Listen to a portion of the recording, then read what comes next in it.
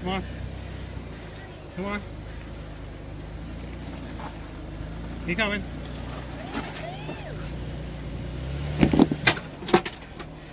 Come on. Yeah, you're good. You're hitting, hitting a drive shaft. Can you go up now?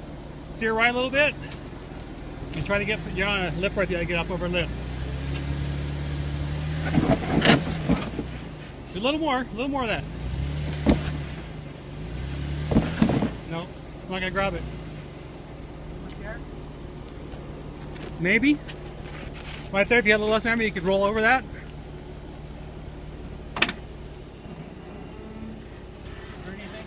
No, Not yet. cleared everything. Got the AC on, right? You just rug your diff there a little bit. You're fine. Straight.